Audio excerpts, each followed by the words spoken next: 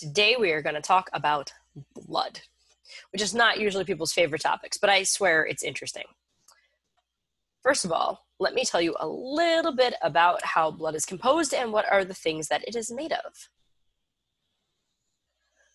So as you can see, this right here is pretty much blood.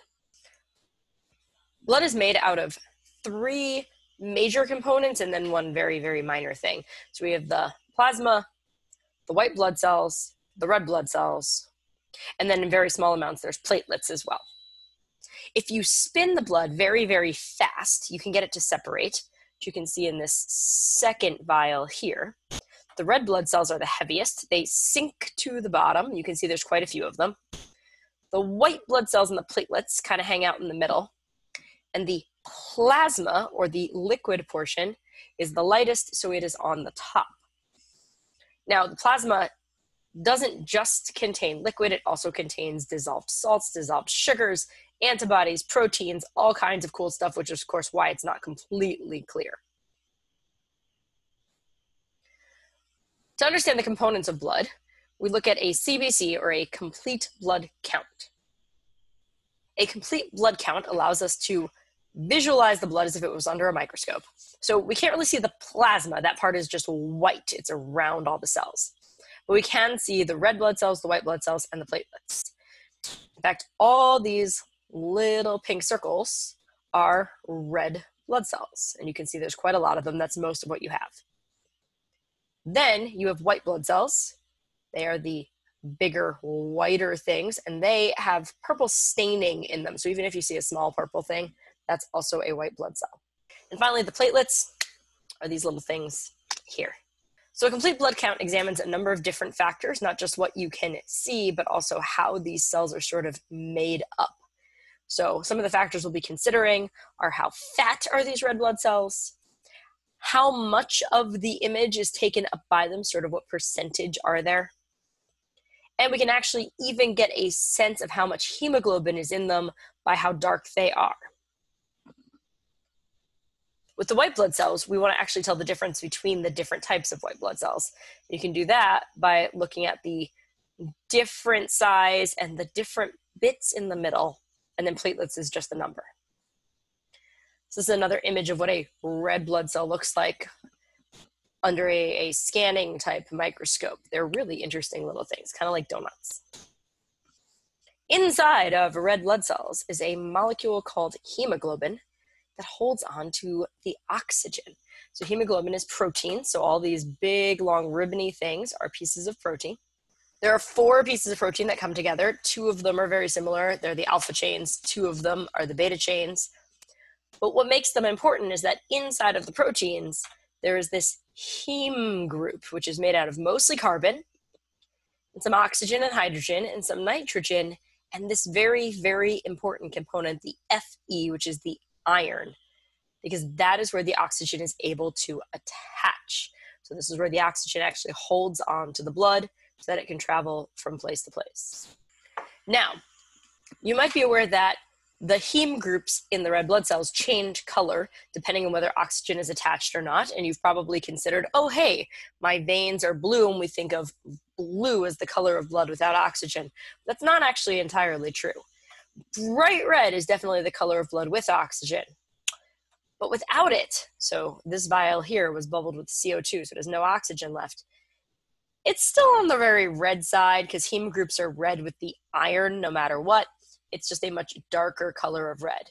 However, when the light goes through the skin and reflects off the vessels, that's when it actually looks blue. That's why some of them look a darker blue than others, even when you look at them through your skin. Most likely they are deeper or maybe closer to the surface. I don't actually know the physics. All right, so let's get back to that complete blood count because we're going to use it to understand how the components work and how problems with them can cause disease. So, as noted, complete blood count goes through all the different aspects of red blood cells and white blood cells and a platelet count. Let's take a closer look at some of these. So red blood cells or erythrocytes, because erythro is sort of means reddish in Latin. We want to know how many cells there are. So we're looking at a number of million of cells. how much hemoglobin, the amount of that protein that it's carrying, a number called the hematocrit, which is the percentage of the red blood cells, and the MCV, mean cell volume, which is essentially how big the cells are. So that's all going to tell us important things about red blood cells. The white blood cells, as I noted, we can break down into different types, and you can see the images of these different types and they have sort of different insides to them if somebody was going to actually do this count and determine. So the lymphocytes are these kind of little ones, eosinophils have this kind of horseshoe, neutrophils have this oddball shape, and that's how you can tell. And they each have a different standard percentage within your blood, as well as you have a particular amount of them that is normal. You'll notice these are in the thousands, that's far less than the red blood cells. And then you need a particular amount of platelets, which is normally about that number. So we're going to use these numbers to determine what's wrong with various people. So I'm going to leave this up so I can reference it and bring up a copy of the same thing so that we can look at the different patients. So patient one, if the only thing I do is look at the image, I can already tell that there's something weird because it seems far more spaced out than the other one and there are some really funky looking red blood cells that are not so much donut shaped. So I might look at the red blood cell numbers. So if I go back to the red blood cell numbers, how many are we supposed to have? Well, this is a male. It says they should have at least 4.32 million cells. And this person has, oh, 3.71. So that's low. How about this? They have an HGB of 5.9. Also low. They should have at least 13.5. The hematocrit, we expect to be at least 38.8. It is only 20.9, so that's low. So there's a lot less red blood cells. And the volume, 56.2, is also lower than the 80 that it should be. So not only are there less of them, but they are smaller. White blood cells at 6,000 seem to be about in range, so I'm probably not really going to look that carefully at those. So what's the problem here? Well, if you don't have enough red blood cells, what could happen? Well, red blood cells carry oxygen. And what do you do with oxygen? You use oxygen to allow your cells to make energy. They make energy from the oxygen. So if there's not enough red blood cells, and they don't bring your cells oxygen, your cells can't make energy, which means you are going to feel tired. In fact, there is a disease that specifically relates to red blood cells that makes feel tired called anemia. All right, let's look at our next patient. This one is a female and from the images, the first thing that comes to my mind is hey, that's a lot more white blood cells than I saw before. So I'm going to jump to that. What do I see here? Oh, 20,000. Is that higher than it should be? It is almost double the top number that it should be. So that's a good starting point. Now let's see which white blood cells are the problem. Now, you probably don't have to be able to identify the actual cells in any of these images, but I've got the numbers here for you you can see that neutrophils are at 78%. Well, if I'm looking at that, I'll come over here and say, oh, mean, there's supposed to be a lot of them, but not quite that many. So that's a lot of neutrophils. Now, these are percentages. So if something goes up, something else is probably going to go down. Lymphocytes are at 10%. That's a little bit low. Monocytes are about fine. So are eosinophils, basophils. So we have a slight increase in neutrophils. Okay, so, what do neutrophils do? Well, they are white blood cells. And I happen to know that they are the white blood cells that are most commonly going after basic invaders and very commonly bacteria. So, what would I think? Well, it seems like maybe this person has bacterial infection and those neutrophils are trying to defeat it. That would probably cause me to check this person's blood or somewhere else for bacteria to see what's going on. Let's move on to the next one. It's another female and it's another situation where it doesn't look too far off, but there are a bunch of white blood cells. And again, that white blood cell number is a little bit on the high side. But the neutrophils, they don't seem very high at all. And in fact, they were supposed to be at least 50%, and they're much lower. There are an okay number of lymphocytes at 35. Monocytes are 6%. That seems okay. Eosinophils are, wow, what are those? Those are all eosinophils. So what do eosinophils do?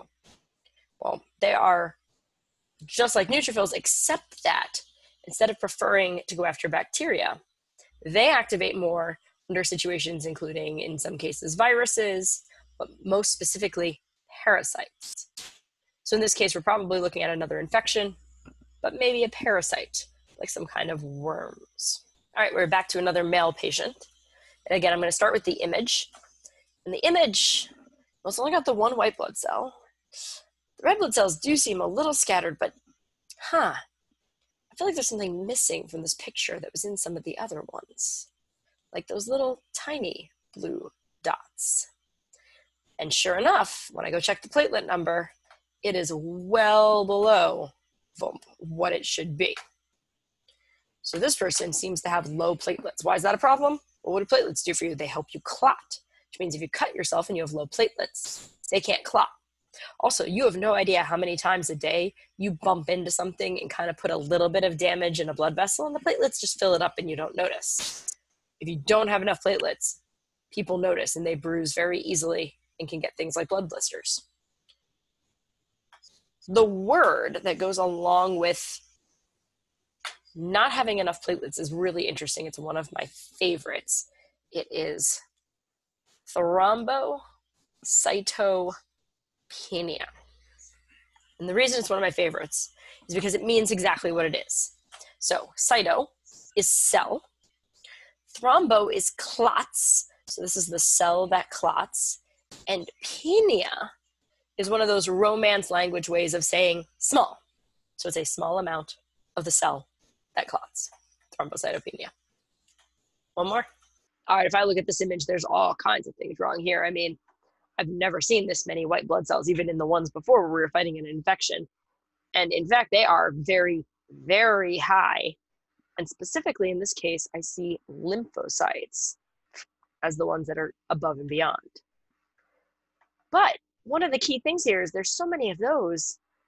Something is also happening to the red blood cells. You'll notice the red blood cell number is very, very low 1.13, should be at least 3.9 along with lowered numbers of HGB and HCT. Although the cell volume is really not that far off. In fact, they might even be a little bit on the fat side. There are platelets that are, let's see, a little low, but mostly in the range that you want. So, what's the problem here? Well, it looks like the white blood cells may have overgrown is there a disorder that tends to go along with a cell overgrowing? The answer is yes. When cells don't know how to regulate their growth, we typically call it cancer. Cancer cells don't know what they're doing. This could be a stem cell cancer that is producing white blood cells. In fact, it produces so many of them that even the white blood cells are good for you. In this case, they're crowding out the red blood cells, which means that there's still no oxygen getting where it needs to, no energy, and that's a problem. So this could be a leukemia, leuco for leukocyte or white blood cell, or a lymphoma for lymphocytes. And you'd have to do more testing to find that out. But this is what it might look like. Hope you enjoyed checking out those CBCs. As a reminder, this is not a medical class, but it gives you kind of a sense of how it works and a reference to take a look at, but always check out with your doctor before you make any decisions.